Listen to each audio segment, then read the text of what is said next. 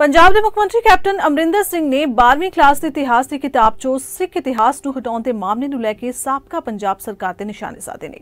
ਉਹਨਾਂ ਕਿਹਾ ਕਿ ਸਿਲੇਬਸ ਦੇ ਬਦਲਾਅ ਲਈ ਸਾਬਕਾ ਅਕਾਲੀ ਸਰਕਾਰ ਨੇ ਹੀ ਖਰੜਾ ਤਿਆਰ ਕੀਤਾ ਸੀ।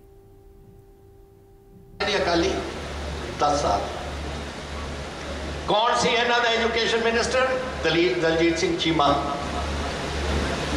2014 ਦੇ ਵਿੱਚ ਇਹਨੇ ਕਮੇਟੀ ਬਿਠਾਈ ਕਿ ਇਹ ਕਮੇਟੀ ਦੇਖੇ ਕਿ ਇਹਦੇ ਵਿੱਚ ਕੋਈ ਅਸੀਂ ਤਬਦੀਲੀ ਲਿਆਉਣੀ ਹੈ ਇਤਿਹਾਸ ਦੇ ਵਿੱਚ।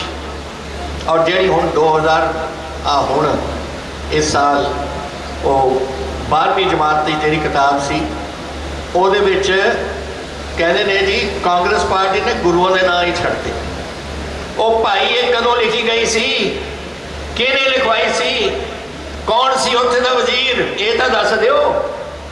ਅਸੀਂ ਤਾਂ ਸਾਲ ਹੀ ਹੋਇਆ ਸਾਨੂੰ ਆਏ ਨੂੰ। ਇਹ ਨੇ ਜਥੇਦਾਰ ਬੈਠੇ ਨੇ ਸਾਰੇ।